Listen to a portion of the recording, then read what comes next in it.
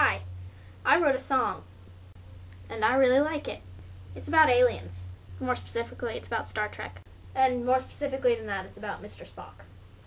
But I'm not like Spock obsessed or anything.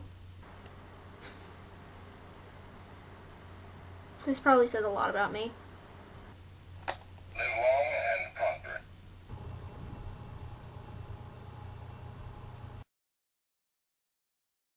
I think he's great. Look, ooh, built a statue of him.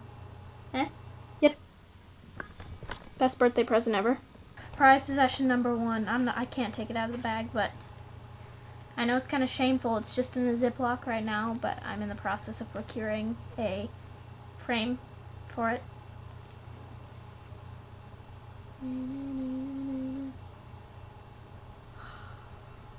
But yeah, here's my song. Hope you like it.